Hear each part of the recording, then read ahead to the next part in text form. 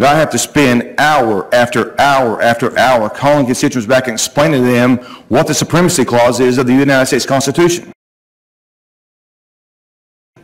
And why we cannot overrule a federal law. If you want to change the federal government, get involved in a congressional race somewhere.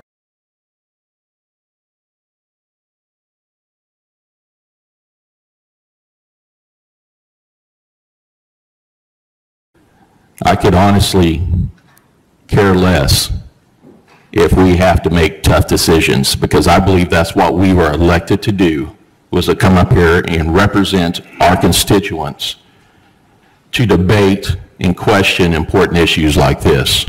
I have been questioned, I have been demonized for even bringing this subject up before a committee.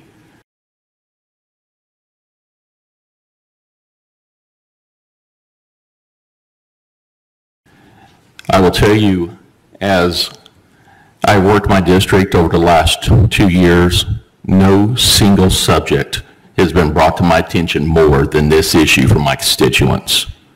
Not a single subject.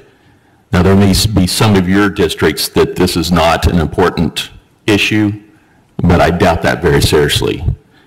I just don't know where we got to a point in society where a individual's personal liberties are more important than someone else's personal liberties. The question was posed, you know, when did individual liberties essentially be- become so important? The answer is 1776, again in 1787, and for sure in 1789 when the Bill of Rights was enacted. Because our country was founded on individual liberties, on protecting individual rights. The Declaration of Independence says that to secure these rights, governments are instituted. The very purpose of government is to secure our rights.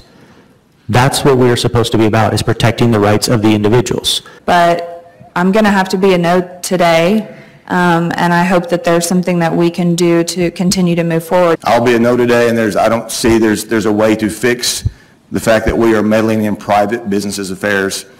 Do the math on those numbers. This is not going to be devastating for small businesses or big businesses or any business.